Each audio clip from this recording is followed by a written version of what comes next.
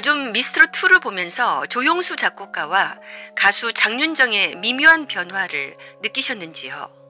조용수 작곡가가 미스트롯 1, 미스터 트롯에서는 그렇게 말을 많이 하지는 않았는데 엄청 공감이 되는 멘트를 적재적소에 딱딱 꽂히게 해서 놀랬는데요. 미스트롯 2에서는 그의 발언이 상당히 많고 좀 더 구체적으로 출연 가수들에게 조언을 해주고 하트 버튼을 상당히 늦게 신중하게 누르는 편이라고 느꼈습니다. 그런데 상대적으로 희한하게 장윤정은 말이 줄어든 것 같고 노래 첫 소절만 듣고 하트 버튼을 상당히 빨리 누르는 편입니다. 그런 변화를 보면서 조영수의 위상이 사뭇 달라진 게 아닌가라는 생각이 들었고요. 또는 자신을 드러내는데 이제는 자신감이 생긴 조영수가 말이 많아진 것일 수도 있고 두 사람은 원래 늘 하던 식으로 했는데 편집을 그렇게 했는지도 모르죠. 어쨌든 조용수 작곡가가 상당히 말이 많아졌고 방송 분량이 늘었다는 것을 많이 느꼈습니다. 사실 심사위원 중에서 가장 큰 영향력을 가지고 있다고 누구나 인정하는 두 사람의 심사 기준에 대해서 다시 한번 분석해 보면 상위권에 드는데 좀 더 도움이 될 것 같습니다. 오늘은 일단 조용수 작곡가에 대해 좀 더 자세하게 알아보는 시간을 갖도록 하겠습니다. 작곡가 조용수의 어마어마한 위상, 조용수의 뜻밖의 고백, 조용수 트로트 왜 하냐 등을 다뤄보겠습니다.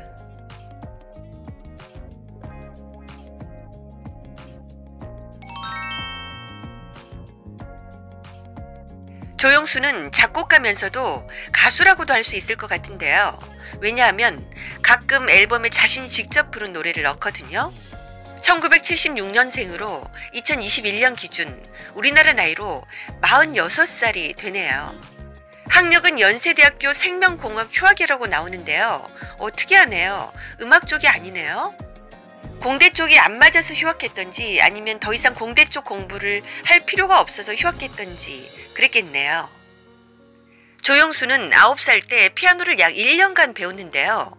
1년 만에 체르니 40번을 뗐고 중학생 때는 여러 곡을 작곡할 만큼 재능이 있어서 음대를 가고 싶었지만 음악이 업이 되는 것이 싫다는 부모님 반대로 학창 시절에는 취미로만 음악을 할 수밖에 없었습니다. 고등학교 2학년 때 라디오 별이 빛나는 밤의 코너 별밤 뽐내기 대회에서 미국 R&B 그룹 보이스 투맨의 노래를 불러 수상한 적이 있다고 합니다. 그는 지금도 가수 중에서 보이스 투맨을 가장 좋아한다고 하고 원래 음악 장르 중에서도 R&B를 가장 좋아한다고 하는데 이때부터 그랬나 봐요. 고등학생 때 전교 1, 2등을 할 만큼 공부를 잘했기 때문에 부모님 바람대로 의대에 갈 생각이었지만 불합격. 결국 연세대 생명공학과 진학. 대학교 재학 시절 1996년 12번째 테마라는 그룹을 결성해서 그해 대학가요제에서 직접 작곡한 새로나기라는 곡으로 대상 수상. 이것이 음악의 길로 들어서게 된 결정적 계기가 되었습니다. 4인조로 결성해 MBC 대학가요제에 나갔는데 메인 보컬은 아니었고 그때도 작곡을 했습니다. 노래도 했지만 그때도 가수에 대한 욕심은 없었다고.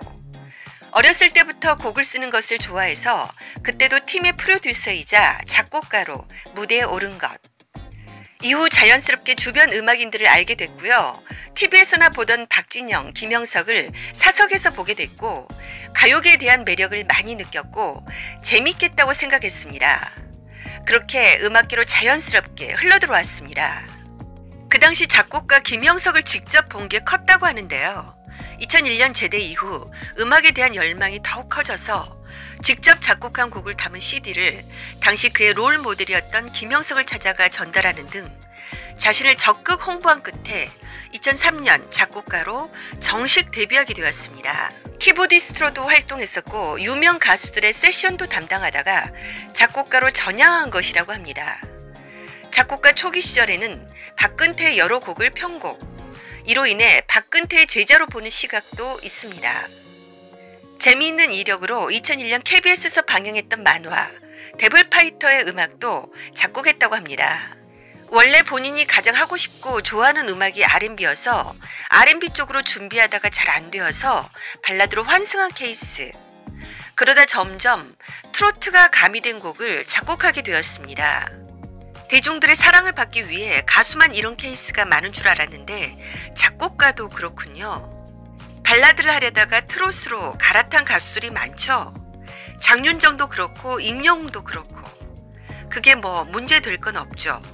뒤늦게 자기한테 맞는 것을 발견할 수도 있고 예전에는 트로트가 다소 배척받았던 것도 사실이니까. 어쨌든 2000년대에는 발라드 르네상스를 이끄는 유명한 작곡가가 되었습니다. 위상이 어느 정도냐면 SG 워너비와 김종국, CI 대히트로 인해 SBS 가요대전 작곡가상, MKMF, 서울가요대상 작곡가상을 모두 휩쓸기도 했습니다.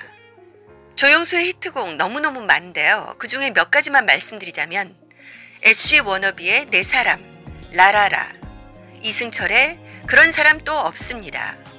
홍진영의 사랑의 배터리 산다는 건, 이수영의 이 죽일 놈의 사랑, 시아의 여인의 향기 미워요, 이기찬의 미인 등. 와 진짜 후덜덜하네요. 박근태, 김도훈처럼 스타 작곡가의 길을 걸었던 사람이고 한창 잘 나갈 때는 저작권료 수입 1위, 즉 2007년부터 2011년까지 무려 5년 연속 1위였고 2015년 1위 탈환, 2016년에는 한국음악저작권협회가 선정한 대중음악 작곡과 편곡 부문 저작권료에서 1위. 저작권료가 가장 많을 때는 한 달에 몇 억씩, 그래서 1년에 수십억씩 벌었다고 하고요. 지금도 유명 가수들에게 매년 왕성하게 곡을 주고 있어서 어마어마하게 수입을 올리고 있습니다. 저작권료만 매월 1억이 넘는다는 말이 나올 정도. 전문적으로 작곡을 배운 것은 아닌데 저작권료 1위 작곡가가 될 수 있었던 비결은 그는 직접 이렇게 얘기했습니다. 가요 편곡이나 작곡 등은 모두 독학했습니다. 의외로 작곡가들 중에는 음악 전공자가 별로 없습니다. 가요라는 특성인 것 같습니다. 노래의 전문적인 평가를 매길 수는 없지 않나. 감성이 더 중요합니다. 절대적인 어떤 지식으로 평가될 수 없다는 말입니다. 가수들도 누가 더 노래를 잘하냐에 따라서 인기를 많이 받는 것이 아닌 것처럼 음악 전공자가 아닌 사람들도 작곡가로 잘 되는 경우가 많습니다. 앞으로도 계속 그렇게 될 것 같습니다. 음대를 나온 것도 아니고 작곡 전문 학원을 다닌 것도 아닌데, 즉, 정규 교과 과정을 통해 음악을 공부해 본 적이 한 번도 없는 그가 국내 대표 작곡가로 성공할 수 있었던 비결은 무엇일까요? 그가 직접 이렇게 말했습니다. 눈으로 악보를 먼저 본 다음에 곡을 파악하는 방식이 아니라 음악을 귀로 먼저 듣고 코드를 알아내면서 화성을 독학했어요. 처음부터 음악을 듣고 화성을 파악하는 방식으로 공부하면 그 음악은 자기 것이 될 수 있어요. 흑인 음악가들 중에 악보를 볼 줄 모르지만 작곡을 잘하는 사람이 많은 이유죠. 그리고 조영수 작곡가처럼 되고 싶은 사람들을 위해 이렇게 조언하기도 했습니다. 누구나 작곡할 수 있어요. 흥얼거리는 것 자체가 작곡입니다. 가장 중요한 것은 기본에 충실해야 한다는 점. 음악하는 사람에게는 재능 51%, 노력 49%가 필요해요. 작곡가가 되려면 댄스, 발라드, 트로트 등 장르에 상관없이 다 작곡할 수 있을 만큼 기본기를 갖춰야 해요. 화가가 되려면 일단 그림을 잘 그려야 하는 것처럼 말입니다. 그는 정말 엄청난 노력파이기도 합니다.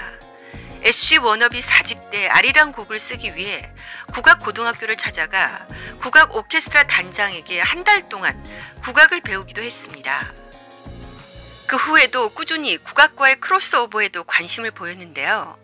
최근 2020년 국악인 출신 강태관은 미스터 트롯 출연 후 조영수 프로듀서의 선택을 받아 조영수 본인이 대표로 있는 넥스타 엔터와 전속 계약을 맺어 미스터 T라는 4인조 트로트 그룹으로 활동하고 있습니다.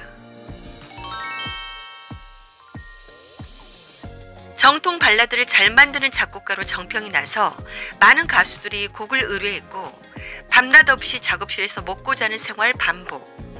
2004년부터 2014년까지 한 10년간 평균 4, 5시간 자면서 작곡. 2014, 2015년 무렵 작업실에만 머물며 일을 하다 보니 살이 엄청 찌고 당뇨, 고지혈증 등 성인병이 와서 아파 일을 못하게 될 지경까지 돼서 술과 담배를 동시에 끊고 식이요법과 운동을 해서 무려 20kg 감량. 술과 담배를 동시에 끊어버릴 정도로 독한 사람이네요.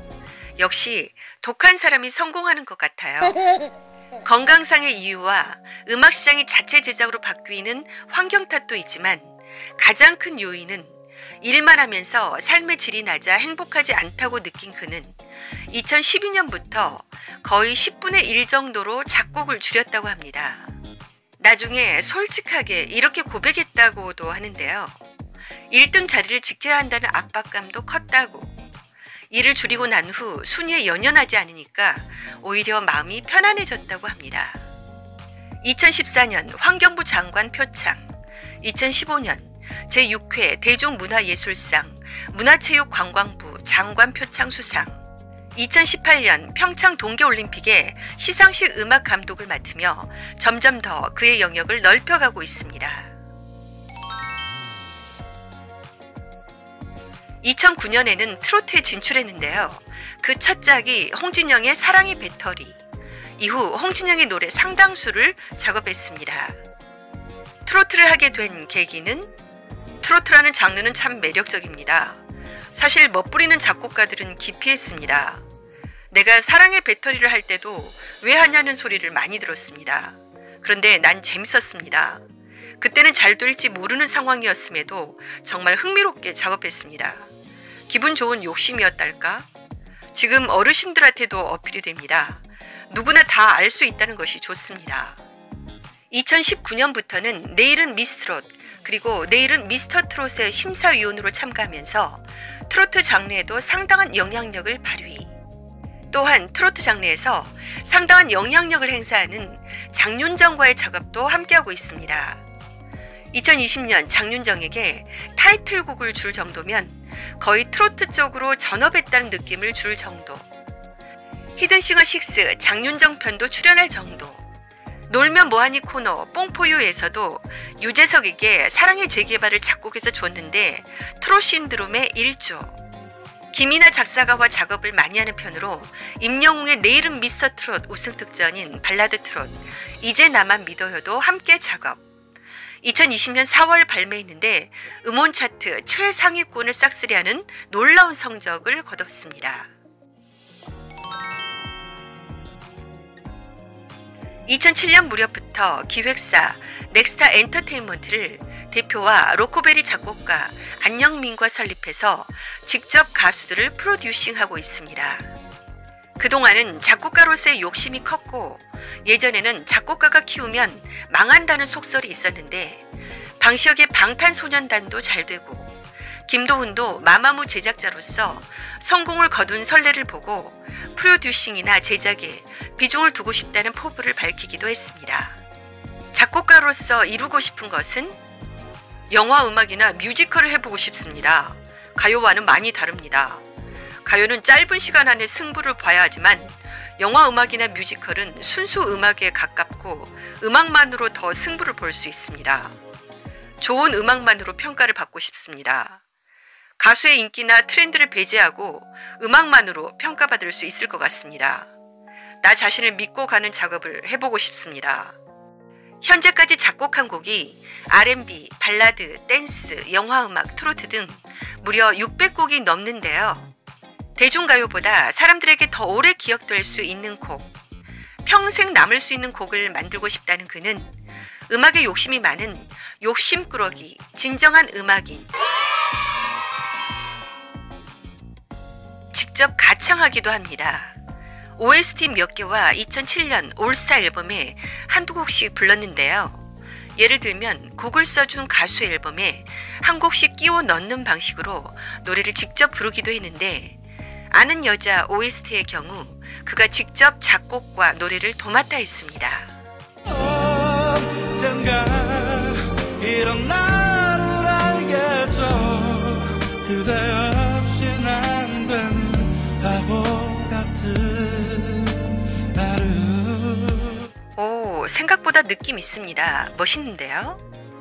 잘 알려지지 않은 게 있는데 자신이 작곡한 곡에는 코러스에 참여합니다. 조용수 자신의 솔로 데뷔곡이자 자작곡인 모르조 때부터 이어져 온 전통이기도 합니다. 싸이도 자신의 곡에 코러스로 참여한다고. 미스트롯2의 그룹 시아의 김현지가 도전자로 나왔는데 조용수 작곡가가 오열하다시피 눈물을 흘려서 두 사람이 사귄 적이 있나 하는 생각까지 들었는데요. 그런 얘기는 없고요. 2008년 초 이지혜와 열애설이 있었는데 소리 소문 없이 묻혔다고 합니다. 40대 중후반인데 아직까지 미혼인데 그래서 조영수 부인 이런 얘기는 다 루머이고요. 과연 그가 어떤 사람인지 궁금해서 임영웅의 우승과 우승 배경까지 정확하게 맞힌 사주 명리학 상담가 문정우 선생님께 여쭤보고 다음 영상에 올리겠습니다. 많은 기대와 시청 부탁드립니다. 여러분은 조영수 작곡가를 어떻게 생각하시는지요? 댓글에 남겨주세요. 스타디슈 무료 구독, 알림 설정, 좋아요, 댓글 공유 부탁드립니다. 감사합니다.